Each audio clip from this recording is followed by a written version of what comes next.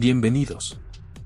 En este video hablaremos del código P0747, sus síntomas, causas y posibles soluciones.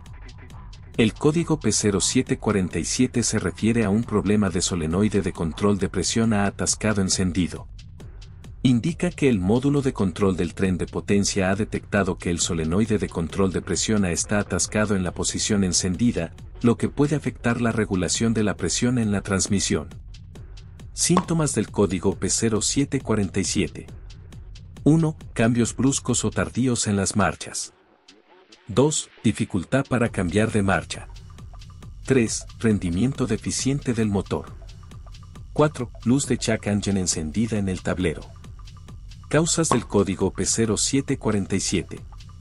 1. Problemas en el solenoide de control de presión A. 2. Cableado o conexiones eléctricas defectuosas en el circuito del solenoide. 3. Problemas en el módulo de control de la transmisión. 4. Bajo nivel de fluido de transmisión. Soluciones del código P0747. 1. Reemplazar el solenoide de control de presión a si está defectuoso. 2. Inspeccionar y reparar el cableado y las conexiones eléctricas del circuito del solenoide.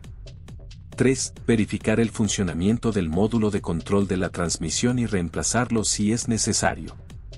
4. Verificar y rellenar el nivel de fluido de transmisión si es necesario. Gracias por ver este video, no te olvides de dejar un like y un comentario, nos vemos en una próxima ocasión.